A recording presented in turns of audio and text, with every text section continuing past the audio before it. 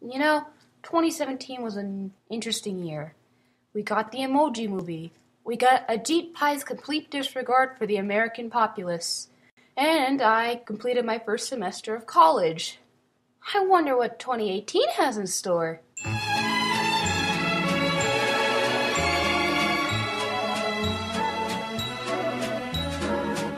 Ah, uh, why would I expect anything less? Well, I don't want to be the person that records drama when I'm just an art slash miscellaneous channel, but you might see some rage and you might see some things that aren't pretty, but this is YouTube drama. This isn't pretty. So let's dive in. Now, if you have been on YouTube within the past day, actually, this is pretty fresh as of this recording this, you will see when you search up Logan Paul. I confuse the two because they're pretty much the exact same person. But you can see that all that's being talked about is people's reactions to the vlog, the vlog itself, re-uploads, etc. And I'm not here to talk about that. I'm here to talk about his apology, which strikes me as odd.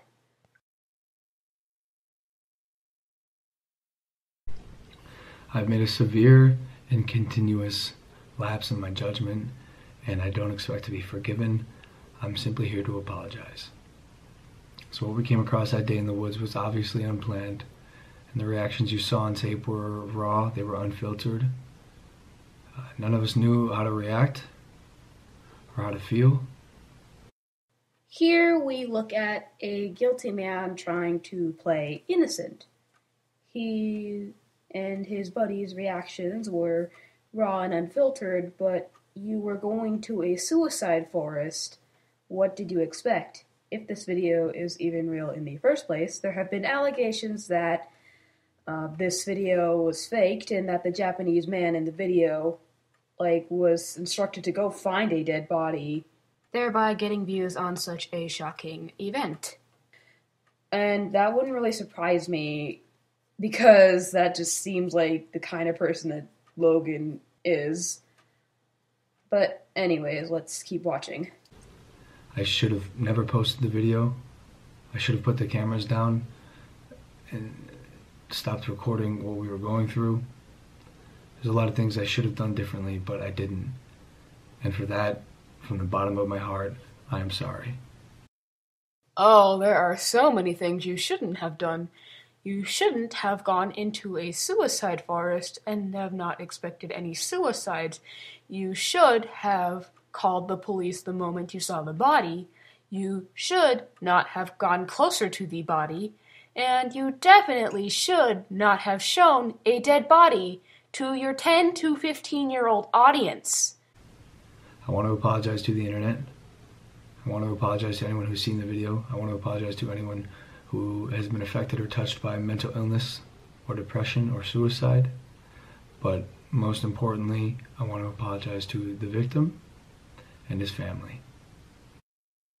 Buddy, pal, when you post something like that, you show to the world that you are a sociopath and that you clearly don't care about the well being of anybody but yourself, and that you're trying to get the most views possible on your stupid channel. Like, I get it. Trying to apologize and trying to make things right, but you're missing so many marks that it's actually quite laughable. For my fans who are defending my actions, please don't. They do not deserve to be defended. Well, they got one thing right, and that's that nobody should be defending this absolute clown of a human being. Um, the goal with my content is always to entertain, to push the boundaries, to be all inclusive. In the world I live in, I share almost everything I do. The intent is never to be heartless, cruel, or malicious. Uh, like I said, I've made a huge mistake. I don't expect to be forgiven. I'm just here to apologize.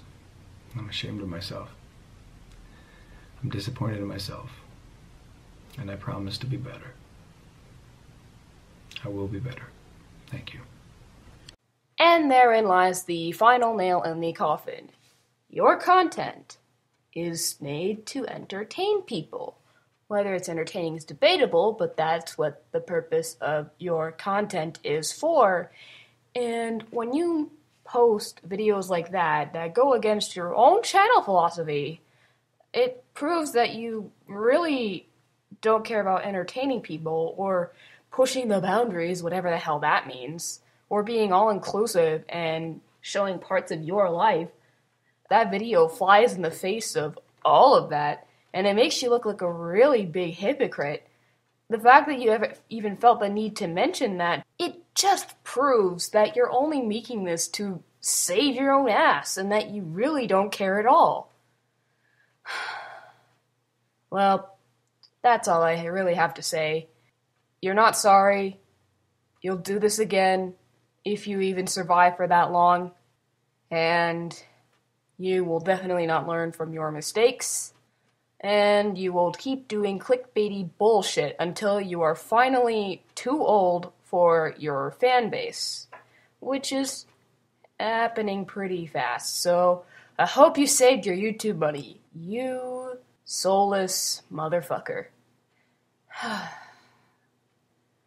See ya.